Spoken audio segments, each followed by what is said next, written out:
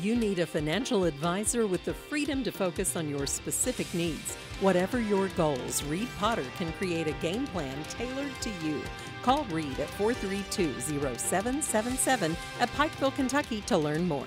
The Appalachian Roots Garden Club will be holding a Hypertufa flower pot making class on Tuesday, August 8th at the Pike County Extension Office. Uh, the original Hypertufa plants were actually troughs that Scotland and England and Ireland used for their animals.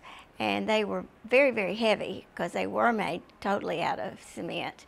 And then um, they became quite popular and quite expensive. People were trying to buy them and put them in their gardens and whatnot. So this uh, new way of making them, which was quite inexpensive and much less heavier, became popular. Hypertufa pots are a low cost and easy craft for plant parents looking to spruce up their at home plant collection with a handmade and highly customizable plant accessory. Each person can do whatever they would like to do, and it's astounding how creative some people can be.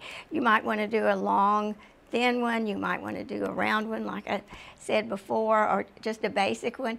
Lots of times you start with just a basic one and um, branch out because it is easy to do. The Hypertufa pot making class will begin at 5:30 p.m. at the Pike County Extension Office on Tuesday, August 8th. For more information, you can visit the Appalachian Roots Garden Club Facebook page. For Mountaintop News, I'm Kelsey Dean.